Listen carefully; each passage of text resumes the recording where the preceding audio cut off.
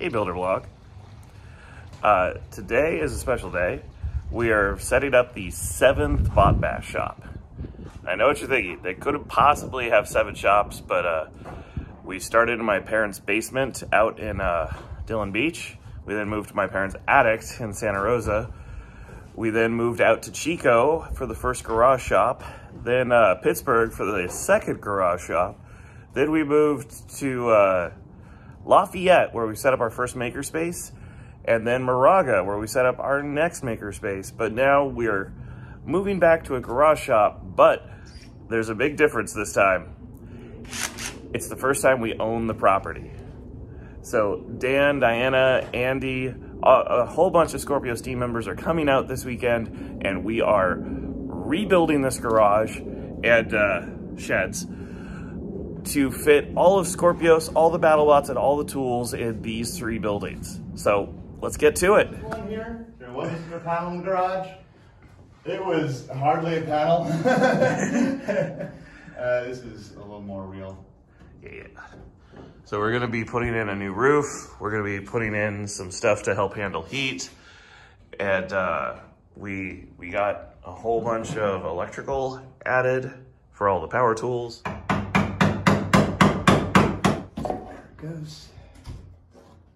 And they look undamaged. Uh, Dan is currently cutting a hole in my wall. I hope that's the right spot. We just finished cutting another hole in the wall up there. And we did a quick test on the wiring we ran for the hexagon.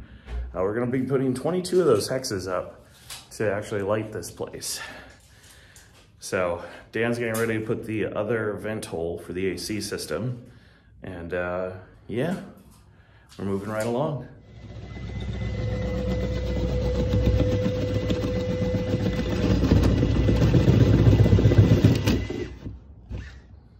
Now we're supposed to see outside light through that, right?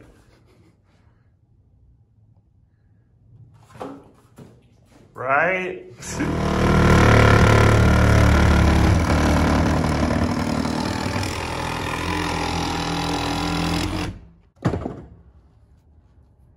was inside, right? Ah. no one important. So once the sun set, we went ahead and brushed out all the chips, all the tables, and the paint cans, and we started putting an enamel down on the floor. The idea behind this is to give a little more traction when you're walking around, you'll be less likely to slip, and it'll be easier to clean up. Great addition to any shop. So we're at the Home Depot right now, and we just loaded up $1,200 of lumber in the robot van. Yeah, that's a lot. Big thanks to Dan and Andy for coming out. Thank you, Andy. Thank you. Let's get this back to the shop. The sky is about to open up on us, so we need to get out of get out of here ASAP.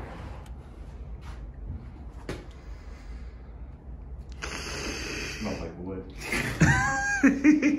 so what are we doing, Andy? Screwing. Okay, back to a PG-13 rating. What are we doing, Dan? Make a wood joke. It's this is why you don't see Andy on the blog very much, ladies and gentlemen. Look. I could make a joke, but instead I'd rather just be more uh, bored. Uh-oh. Ah. we're putting up boards. We're, we're filling in the wall so we don't have that. We have this, which will be much easier to screw things to. If it's really like a big deal. So less of this and more of that. Like I mentioned floorboards. And then we're gonna make a roof. yeah.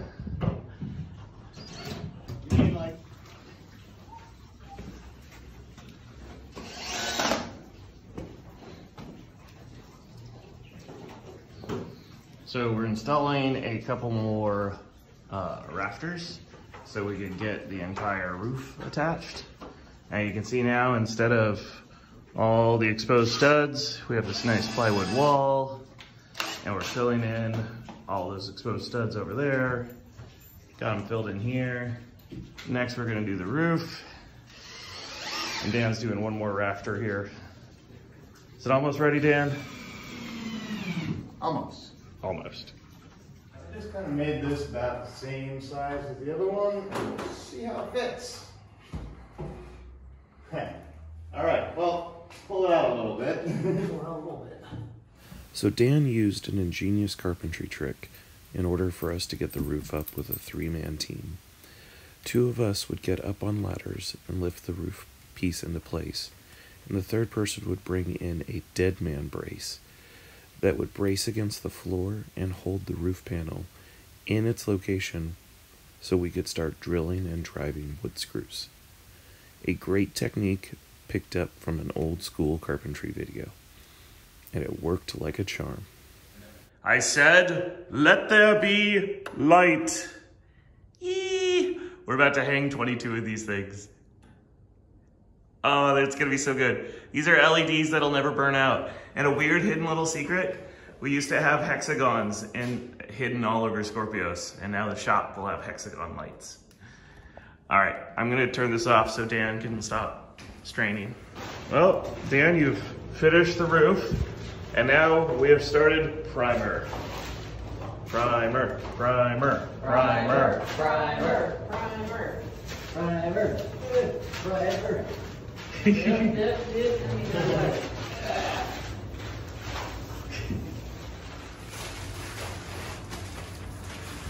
nice. I know it's not quite Skorpios blue, but I didn't want pure neon Skorpios blue because it was kind of that like, it's a boy blue. Right? But I like this blue. There we go. You're right. The very first bit of paint in the walls. To Diana, we're, we're painting.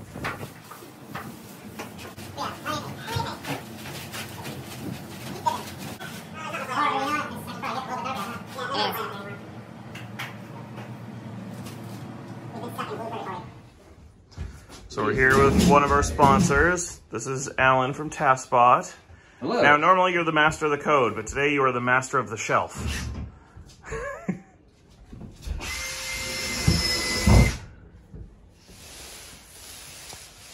And that's what Dan's shoe looks like.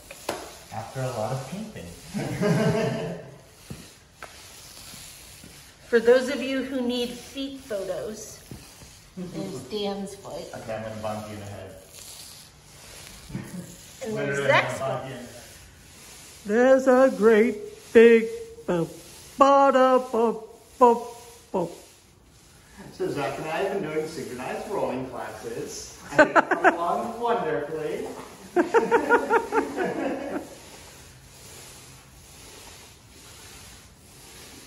I'm the project manager of this build. So as manager, uh, everyone will do as I say.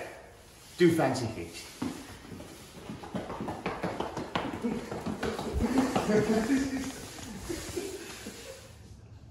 And I do want to take a minute to say a super big thanks to Dan. Um, I have not been feeling great, and Dan has really spearheaded and pushed this forward from getting the cooling system upstairs installed to inventing a way to put up a ceiling to just everything. Thank you, Dan. So today we're going to install 22 of those hex lights here on the roof. We're going to completely light this space. It's going to be lit. And then we're going to put the new garage door opener in. It's got a battery backup, so if there is a power outage here in Oakland, the lights on the garage door opener will kick on, and uh, we'll be able to get to the exit door. All right, we're at the next stage as we are getting ready to install a brand new garage door opener.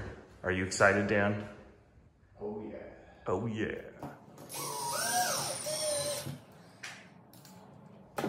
All right, ladies and gentlemen, Dan is about to do our first test on grid one. Let's go ahead and see it, Dan. I have the power. Woo! Now I know that's not very impressive because it's on the floor, but it is awesome to see them all light up. All right, ladies and gentlemen, since we have covered the entire shop in hexagon lights, what we're gonna try to do to lift this up is we have our ladders in staged. We're going to lift the wood, those two planks, We're gonna lift those and set those on top of the ladders. Then we're gonna spread the ladders out, climb up, and screw the two central hexagons up in place. And then that should be enough to hold it against the ceiling. And we'll move around and screw the rest of the hexagons. So wish Dan and I luck. we might be about to destroy an $800 lighting fixture or uh, it's gonna work. We'll see. All right. And now- in. Now this is, this is only half our grid currently, but I'm very excited to see what half of our grid looks like. And Moses said to the people, let there be light. That wasn't Moses. I know, but I don't care. Wow. This is great. This. Uh, it's gonna be such a nice workspace. So I, I've watched all these shop improvement videos to get ideas, and I never understood why everyone was always like, "Oh, the lights! Let me tell you about my lights and how I picked the lights." But now I'm doing my own shop video, and I'm obsessing about the lights. Uh, this is cool. this is cool. All right, let's finish putting all the screws in. All right, this is it. This is fully lit. oh my god, it looks so good. The uh, the blue on white really kind of gives this an outdoor feel with the blue sky and the the, uh, the white clouds. Well, our white hex rings. And uh, oh god, I am so excited. Thank you, Dan. I, I hope your arms are okay after all that. Uh, mostly. But as you can see, Dan and I are both sweaty. This gravity was not our friend on this little thing. And we do need to run to Home Depot to get a uh, white extension cord to replace this brown cord. And we're gonna staple those up against the wall. But man, you're definitely going to get good lighting on our videos from now on. I can't wait to start building stuff in here. Little Builder Blog, it has been a crazy, crazy week here on the Builder Blog. We're only going a little insane. Only a little, but we have now brought in all the toolboxes over and we have completely nuked our last shop. That's a disaster. Oh, you get to clean that. Good luck. Why do I have to clean it? You know I'll be helping. You know It's, I'm uh, lazy. Oh, we're both lazy. But this place looks pretty. Just like you. Aww. And I, uh, I'm gonna have the mill set up. We're going to have all the power tools over on this side. And uh, everything's nice, pretty with the hex lights and all the blue. Look how nice our lighting is compared to how it was at the old shop. Yo, Yeah. hex lights. And that just looks slick. Yeah. So Whatever. Thank you, Dan. Thank you, Alan.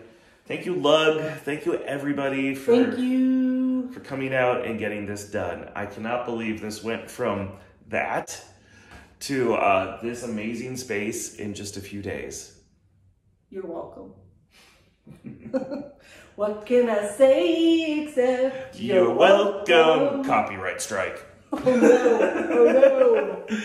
Well, Builder Blog, we will see you next week, and let's see if we can't build a giant nut winning robot in our new shop. My shoulder. Yeah, I know, everything's sore. Everything hurts. That's right, ladies. He does all that carpentry work and he cooks. the most eligible man at BattleBots. Now that Will Bales has been married off, it's now Dan Chatterton. Damn.